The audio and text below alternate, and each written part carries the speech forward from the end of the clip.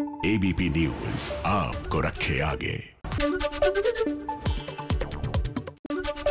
बंगाल में ममता बनर्जी को एक और बड़ा झटका। ममता बनर्जी के वन मंत्री राजीव बनर्जी ने इस्तीफा दिया। बीजेपी में जाने की अटकलें तेज हैं।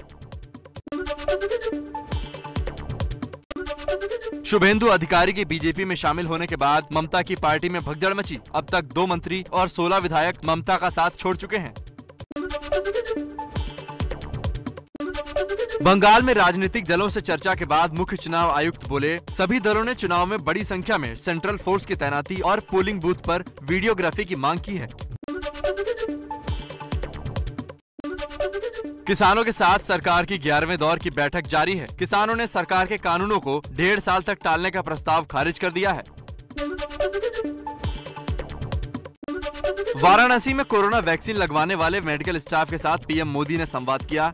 मोदी बोले, वैक्सीन पूरी तरह सुरक्षित है, अफवाहों से बचने की ज़रूरत है। कोरोना पर पीएम मोदी की वैक्सीन मैत्री वाली कूटनीति। आज मॉरिशस और शिशेल्स पचास हज़ार वैक्सीन की डोज भेजी गई हैं। ऑस्ट्रेलिया में कंगारुओं को हराकर लौटी टीम इंडिया को पीएम मोदी ने फिर सराहा। मोदी बोले, बुलंद हौसलों के साथ खिलाड़ियों ने इतिहास रच दिया। बोले, टीम इंडिया ने युवाओं को लाइफ लेसन दिया है। अध्यक्ष पद के बवाल के बीच आज कांग्रेस वर्किंग कमेटी की बैठक हुई। मई में हो सकते हैं कांग्रेस अध्यक्ष पद के चुनाव। बैठक में सोनिया, राहुल, प्रियंका समेत सभी बड़े नेता शामिल हुए। सीडब्ल्यूसी की बैठक में सोनिया गांधी का सरकार पर बड़ा हमला। बोली, किसानों के मुद्दे पर सरकार ने अमानवीयता दिखाई है। व्हाट्सएप चैट लीक मामले पर भी सरकार को घेरा। बिहार में नीतीश सरकार के फरमान पर घमासान। बिहार के नेताओं और अफसरों के खिलाफ सोशल मीडिया पर आपत्तिजनक बयान देने पर कार्रवाई होगी। तेजस्वी बोले, मुझे गिरफ़्तार करके दिखाए सरकार। तांडव के बाद अब वेब सीरीज़ मिर्जापुर पर भी घमासान। जाँच के लिए मुंबई पहुँची यूपी पुलिस की मुंबई पुलिस से भिड़ंत हुई। अभिनेता फरहान अख्तर के घर के बाहर हाई वोल्टेज ड्रामा हुआ। एनसीबी का अंतर्राष्ट्रीय ड्रग्स मॉड्यूल पर बड़ा खुलासा। पाकिस्तान और श्रीलंका से समुद्री रास्ते से आती थी ड्रग्स एक हज़ार करोड़ की ड्रग्स बरामद हुई। दो दिन के लखनऊ दौरे पर पहुँचे जेपी नड्डा ने बूथ लेवल के कार्यकर्ताओं से बैठक की। नड्डा बोले, बीजेपी ही सिर्फ़ ऐसी पार्टी है जिसमें आम आदमी, पीएम और सीएम बन सकता है। चारा घोटाले केस में सजा काट रहे लालू यादव की तबीयत बिगड़ी। डॉक्टरों के मुताबिक लालू को निमोनिया हुआ है। फ़िलहाल हालत स्थिर है।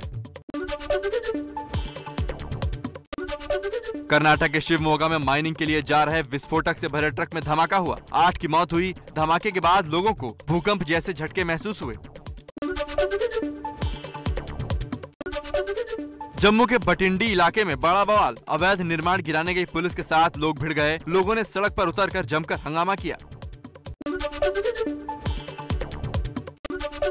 चार दिन बाद यूपी पुलिस ने गोंडा से अगवा मेडिकल छात्र को छुड़ाया। हनी ट्रैप में फंसाने की साजिश का खुलासा, आरोपियों ने 70 लाख रुपए की फिरौती मांगी थी। दो मेडिकल स्टूडेंट समेत तीन लोग गिरफ़्तार हुए।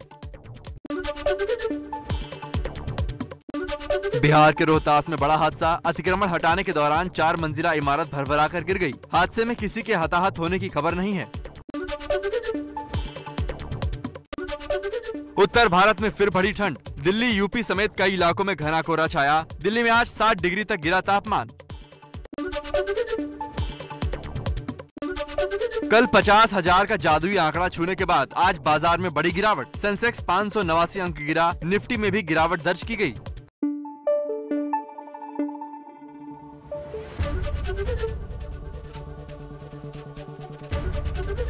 एबीपी न्यूज़ आपको रखे आगे।